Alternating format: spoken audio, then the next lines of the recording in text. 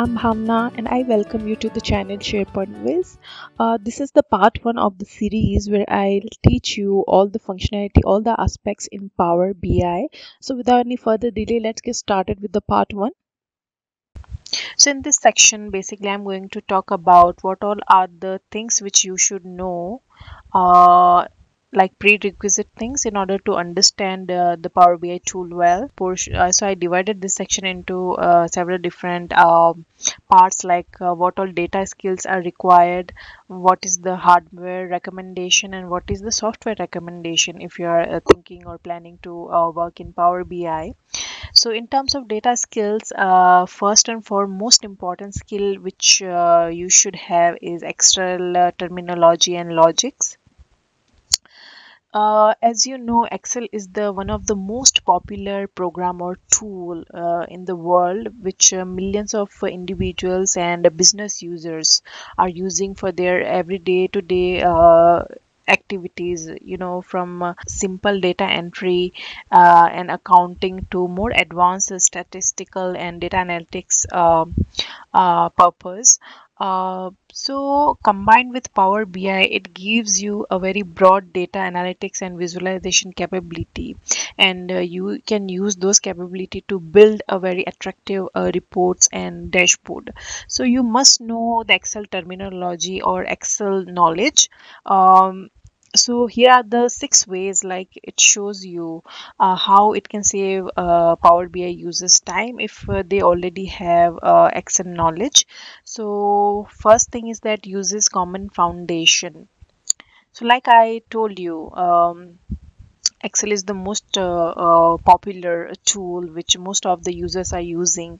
So um, most of the functionality like all the add-ins, all the queries, its data model and reports which you can create in Excel can be transferred to the Power BI tool.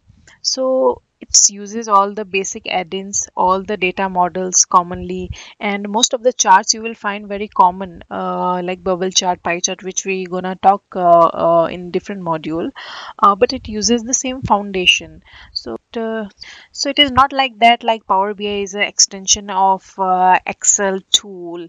But i just want to try to say like most of the features you will find common in power bi so it would be very easy for you to work with and it also also saves a lot of time second point is that automate your data refresh will with one click so in Power BI to generate reports, um, we are going to connect to several data sources. Um, so in real-time scenario, when uh, after connecting to certain data source, suppose we have Excel as a data source and uh, if you updated anything into Excel sheet, so that reflection should be uh, happen or it should be visible into the Power BI report as well. So for that it requires only one single click where it refreshes the data on the schedule basis so you need not to worry about like how you will uh, get the updated data or you need not to write any particular you know query or some extra stuff coding stuff uh, is required for the same thing uh, third point is that consumes and share multiple workbook in a single view. So this is again a very important uh, aspect where by connecting your excel workbook to power bi you can display ranges of data charts table and more on a power bi dashboard.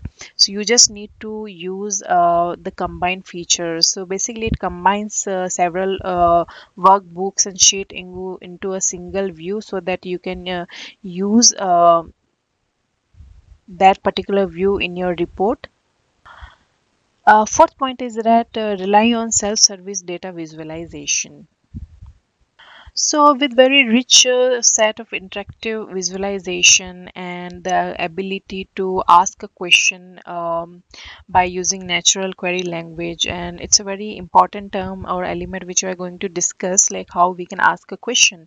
So by using uh, this particular uh, ask a question element in your um, report uh, or dashboard you can generate your own um, data visualization. So if you are not uh, if so if you think you are not a excel expert or you do not know how to play with the data so in that situation only by asking a question it would generate a very um, beautiful report for you which we gonna see uh, live how we can generate the report. So it's very very very a uh, good feature in Power BI as well um, bring advanced analytics uh, to your model. So by using those built-in uh, visuals, we can create several reports, very attractive reports. Uh, but if your requirement is uh, to, you know, bring some other uh, third-party uh, visual, which is also possible by connecting custom visuals. So it provides you an a way where you can have a different, very complex custom visual in your report, so that you can bring a more capable uh, advanced analytics uh, report or workflow by using that.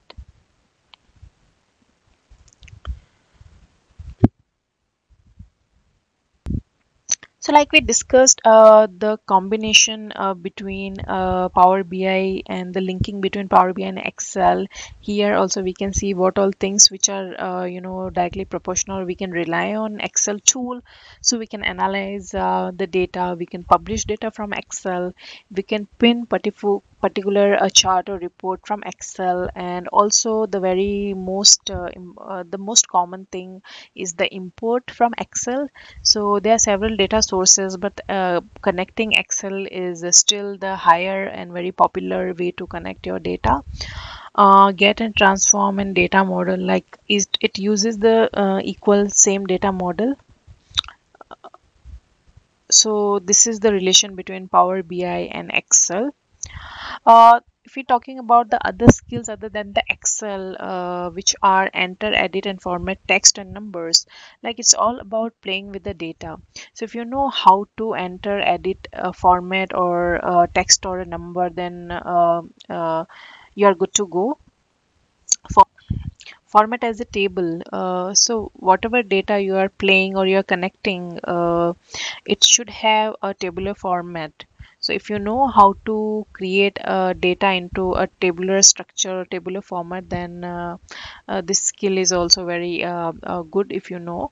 Find and replace. Uh, so I believe um, everybody knows uh, this find and replace. If you have worked in any microsoft uh, product like like excel ms word notepad so this find and replace functionality you can find it uh, very common where um, it finds and replaces a certain uh, uh, text whichever we are writing inside uh, this tool.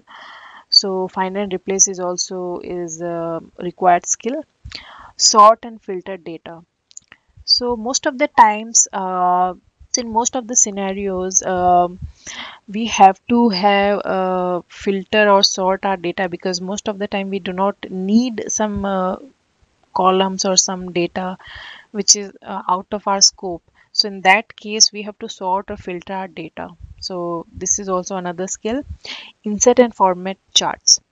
So again if you know how to insert and format your charts because in power bi it it would really help if you know how to create charts because um, uh, like i told you power bi provides a very uh, robust set of visualization uh, which creates uh, different charts or different uh, behavior of your data. So if you know little bit about uh, the different of chart format and how to insert a chart then it would be uh, again a very good uh, skill which you should have so i hope you found this part one to be very helpful and uh, please uh, do like subscribe and comment to this uh, video in order to get uh, the future video intact.